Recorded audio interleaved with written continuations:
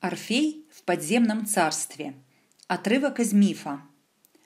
Великий певец Орфей, сын речного бога Эагра и музы Калиопы, жил в далекой Фракии.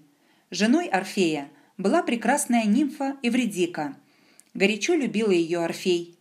Но недолго наслаждался Орфей счастливой жизнью с женой своей.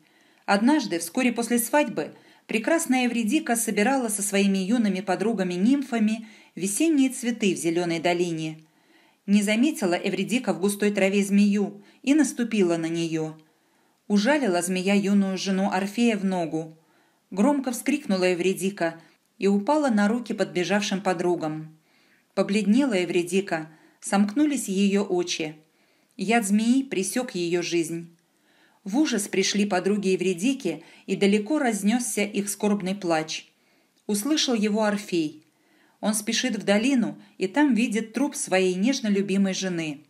В отчаяние пришел Орфей. Не мог он примириться с этой утратой.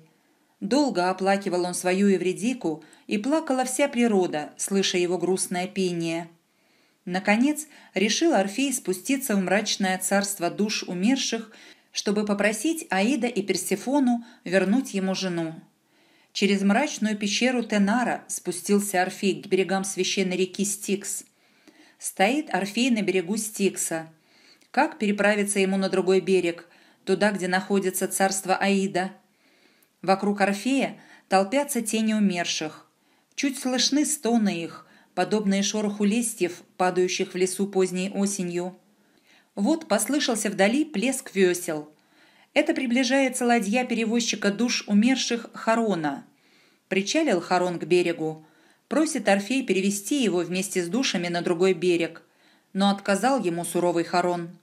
Как не молит его Орфей, все слышит он один ответ Харона – «нет». Ударил тогда Орфей по струнам кефары, и разнеслись по берегу Стикса ее звуки. Своей музыкой очаровал Орфей Харона. Слушает он игру Орфея, опершись на весло. Под звуки музыки вошел Орфей в ладью, оттолкнул ее Харон веслом от берега, и поплыла ладья через мрачные воды Стикса. Перевез Харон Орфея, вышел он из ладьи, и, играя на золотой кефаре, пошел к Аиду, окруженный душами, слетевшимися на звуки его кефары. Приблизился к трону Аида Орфей и склонился перед ним. Сильнее ударил он по струнам кефары и запел. Он пел о своей любви к Эвредике и о том, как счастлива была его жизнь с ней в светлые ясные дни весны. Но быстро миновали дни счастья, погибла Евредика. О своем горе, о муках разбитой любви, о тоске по умершей пел Орфей. Все царство Аида внимало пению Орфея, всех очаровала его песня. Склонив на грудь голову, слушал Орфея Аид. Припав головой к плечу мужа, внимала песни Персифона. Слезы печали дрожали на ее ресницах. Очарованный звуками песни, Тантал забыл терзающие его голод и жажду. Сизиф прекратил свою тяжкую бесплодную работу, сел на тот камень, который вкатывал на гору, и глубоко задумался. Очарованные пением, стояли Данаиды. Забыли они о своем бездонном сосуде. Сама грозная трехликая богиня Геката закрылась руками, чтобы не видно было слез на ее глазах.